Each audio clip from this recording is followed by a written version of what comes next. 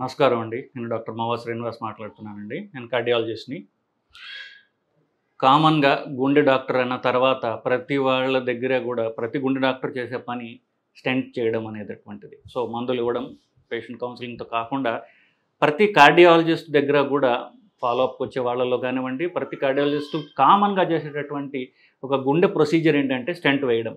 So heart attack వచ్చిన తర్వాత కానివ్వండి బ్లాక్ ఉన్నప్పుడు కానివ్వండి ఈ స్టెంట్ ప్రక్రియ స్టెంట్ వేయడం గుండె రక్తనాళాల్లో అనేటువంటి జరుగుతూ ఉంటుంది. సో ఇది చేసిన తర్వాత అక్కడ దాకా బాగుంది కానీ సినిమాల్లో శుభం తర్వాత స్టోరీ ఎండ్ కాదు. అట్లాగనే దీంతో శుభం పడదు. దాని తర్వాత దాన్ని మెయింటైన్ చేసుకోవడం ఎట్లా? ఇక్కడ ఈ పేషెంట్లు చాలామంది డాక్టర్ని అడగరు. ఓ స్టెంట్ బాగా అయిపోయిందా బాగా అయిపోయింది బాగా అయిపోయింది ఇంటికి వెళ్ళిపోవడం జరుగుతూ ఉంటుంది. ఆ తర్వాత ఏం చేయాలి? ఈ స్టెంట్ ఆ తర్వాత బాగుంటుందా? అతను మళ్ళీ బ్లాక్ అవుతుందా? ఈ స్టెంట్ ఎంతకాలం నా దగ్గర పనిచేస్తుంది? స్టెంట్ లైఫ్ ఎంత? అనేటటువంటి క్వశ్చన్ పేషెంట్లు అడగరు. డాక్టరు ఆ ప్రొసీజర్ అయిపోవడంతో అక్కడ వదిలేస్తారు. ఆ తర్వాత పేషెంట్ ఒక్కొక్కసారి ఫాలోఅప్ వస్తారు. మళ్ళీ డాక్టర్ చూస్తారు. డాక్టర్ చూడరు కొంతమంది. ఆ తర్వాత ఏమవుతుందో కూడా చాలామందికి ఆ తర్వాత ఏమవుతుందో మనకు తెలియదు సో స్టెంట్ అంటూ గుండె రక్తనాళాల్లో వేసిన తర్వాత దాది నెక్స్ట్ కోర్స్ ఎలా ఉంటుంది అని మనం చూసినట్లయితే ఆ స్టెంట్లో రెండు రకాల ప్రాబ్లమ్స్ రావచ్చు. ఆ స్టెంట్ లోపల మళ్ళీ కొలెస్ట్రాల్ ఫామ్ కావచ్చు లేదా స్టెంట్లో మళ్ళీ రక్తం గడ్డ ఫామ్ కావచ్చు.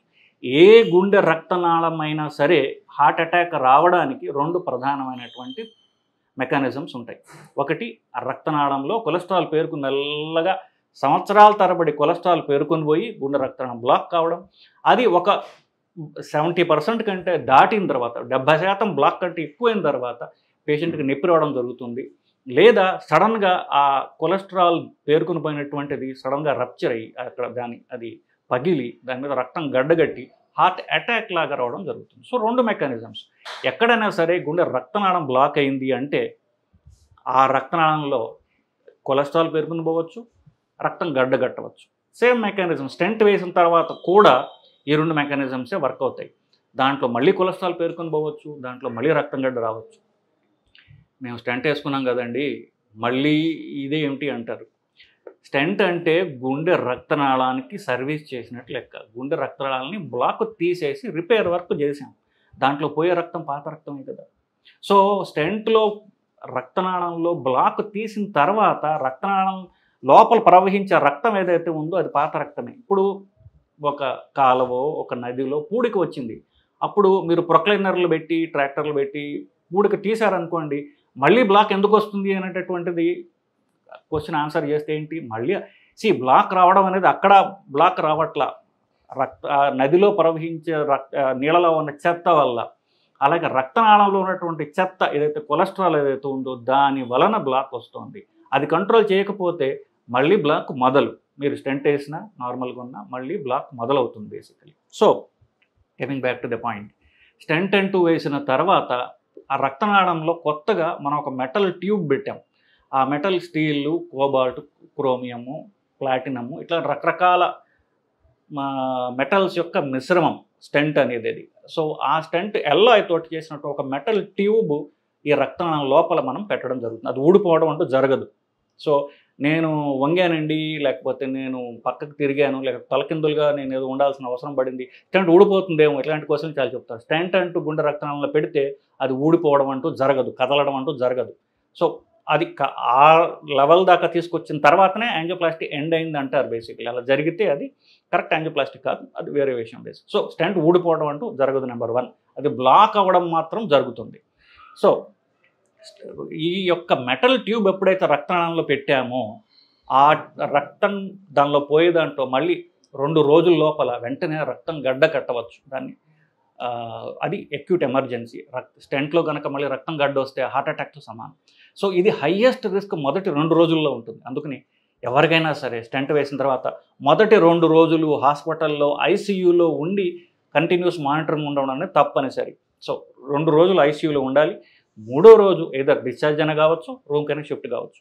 ఎందుకంటే ఈ మొదటి రెండు రోజులు సడన్గా స్టెంట్లో రక్తనాళం లోపల ఉన్నటువంటి స్టెంట్లో రక్తం గడ్డ రావడం అంటే హార్ట్ అటాక్ సమానమైనటువంటి అది ఎమర్జెన్సీ ప్రాబ్లం రావడం జరుగుతుంది. సో మొదటి రెండు రోజుల్లో స్టెంట్లో రక్తం గడ్డ గట్టవచ్చు తర్వాత రెండు రోజుల తర్వాత అంత బాగుండి ఇంటికి పంపిస్తాం.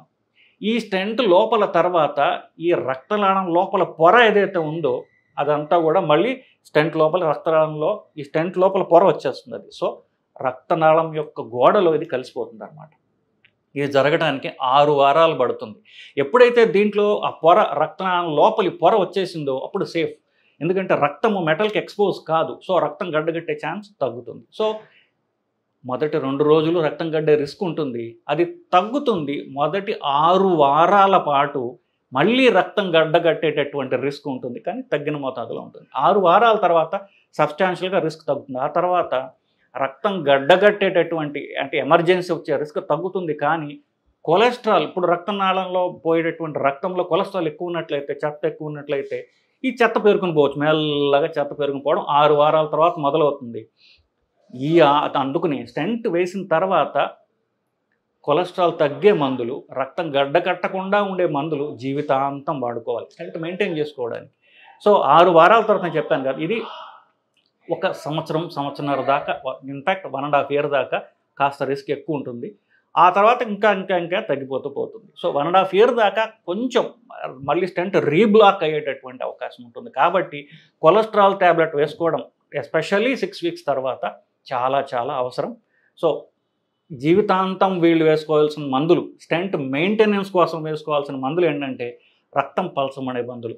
ఈకోస్ప్రిన్ లేకపోతే క్లోపిడోగ్గరల్ అనేటటువంటి ట్యాబ్లెట్ ఉంది టికాగ్రిలార్ అనేటటువంటి ట్యాబ్లెట్ ఉంది. ఈ మూడు కామన్గా ఇవ్వడం జరుగుతుంది. ఈ సంవత్సరం పాటు తప్పనిసరిగా అందరూ వేసుకోవాలి. సంవత్సరం దాకా బ్లాక్ అయ్యే అవకాశం ఉందని చెప్పాం కాబట్టి సంవత్సరంన్నర అయినప్పటికీ కూడా గైడ్లైన్స్ ప్రకారం స్టెంట్ కానీ బైపాస్ కానీ హార్ట్ అటాక్ కానీ వచ్చిన తర్వాత సంవత్సరం పాటు రక్తం పలచబడే మందులు తప్పనిసరిగా అందరూ వేసుకుని తీరాలి. రెండు ట్యాబ్లెట్లు ఇస్తారు. రక్తం పలచబడటానికి రెండు డబుల్ ట్యాబ్లెట్లు ఇస్తారు. ఈకోస్పిరిన్ క్లోబ్లోగిల్ కల్పిస్తారు. ఇది తప్పనిసరిగా సంవత్సరం వేసుకోవాలి. సంవత్సరం తర్వాత ఒకటే వేసుకోవాలి. సంవత్సరం తర్వాత ఒకటి జీవితాంతం వేసుకోవాలి. కొలెస్ట్రాల్ ట్యాబ్లెట్ ఆఫ్ కోర్స్ ఇవి స్టెంట్ అయిన తర్వాత కానీ బైపాస్ అయిన తర్వాత కానీ హార్ట్ అటాక్ వచ్చిన తర్వాత కానీ కొలెస్ట్రాల్ ట్యాబ్లెట్ మొదలుపెట్టి జీవితాంతం స్టెంట్ కాపాడుకోవడానికి మనం వేసుకోవాలి. కామన్గా ఏమవుతుంది? స్టెంట్ ప్రొసీజర్ అవ్వగానే డాక్టర్ ఏమంటారు? "ఓ, బ్రహ్మాండంగా అయిపోయింది చాలా బాగా అయిందండి అంటే పేషెంట్ వెరీ హ్యాపీ అందరు వెరీ హ్యాపీ. ఇంటికి వెళ్ళి "నువ్వు డాక్టర్ నా గుండెకి సర్వీసింగ్ చేసేసాడు నేను ఇంకా పూర్తిగా నార్మల్ అయిపోయాను అని మందులన్నీ ఆపేయడం జరుగుతుంది. అవి జరిగినట్లయితే మళ్ళీ మొదటకు వచ్చి స్టెంట్ బ్లాక్ అవ్వడం జరుగుతుంది. సో మన స్టెంట్ గుండె రిపేర్ వర్క్ జరిగింది బ్లాక్ పోయింది అంత బాగుంది. కానీ ఆ మందులు ఆపకుండా ప్రతిరోజు మీకు ఏ జబ్బులు వచ్చినా సరే ఈ మందులు ఆపకూడదు. మీకు జ్వరం వచ్చింది జ్వరం జ్వరం మందులు వేసుకోవచ్చా? వేసుకోవచ్చు. ఈ మందులు ఆపకుండా వేసుకోవాలి. ఇంక ఏ ప్రాబ్లం అయినా వచ్చింది మీకు. అన్ని ప్రాబ్లమ్స్కి మందులు తీసుకోండి. కానీ ఈ మందులు ఆపకుండా తీసుకోవాలి. ఒక్క సర్జరీ ఏమన్నా మీకు ఏమైనా ఎమర్జెన్సీ సర్జరీలు అవసరం వస్తే మాత్రం అప్పుడు డాక్టర్ని కన్సల్ట్ చేసి మందులు కొన్ని రోజులు మూడు రోజులు నాలుగు రోజులు ఆపాల్సిన అవసరం పడవచ్చు. అది కార్డియాలజిస్ట్ పర్యవేక్షణలో మాత్రమే జరగాలి తప్ప మీకు మీరుగా ఎట్టి పరిస్థితుల్లో ఈ రెండు మందులు కొలెస్ట్రాల్ మందు గుండె పలచబడే రక్తం పలచబడే మందులు ఆపకూడదు. ఇలా చేసినట్లయితే ఈ స్టెంట్ జీవితాంతం మీకు పూర్తిగా క్లీన్గా ఉండేటటువంటి అవకాశం ఉంటుంది. తప్ప మీరు స్టెంట్ అయిన తర్వాత ఈ జాగ్రత్తలు తీసుకోకపోతే మళ్ళీ స్టెంట్లో బ్లాక్ అయ్యి రెండోసారి బ్లాక్ కానీ హార్ట్ అటాక్ కానీ వచ్చే అవకాశం ఉంటుంది. సో ఈ ఇన్ఫర్మేషన్ మీకు బాగా ఉపయోగపడిందని ఎస్పెషల్లీ హార్ట్ అటాక్ వచ్చిన వాళ్ళు స్టంట్ వేసుకున్న వాళ్ళకి ఇన్ఫర్మేషన్ ఉపయోగపడుతుందని నేను ఆశిస్తున్నాను. మీకు ఈ వీడియో నచ్చినట్లయితే లైక్ చేయండి మీ ఫ్రెండ్స్తో షేర్ చేయండి. ఆథెంటిక్ సైన్స్ సైంటిఫిక్ ఇన్ఫర్మేషన్ ఇచ్చేటటువంటి మోవస్ శ్రీనివాస్ ఛానల్ మీరు సపోర్ట్ చేస్తారని ఆశిస్తున్నానండి. నమస్కారం.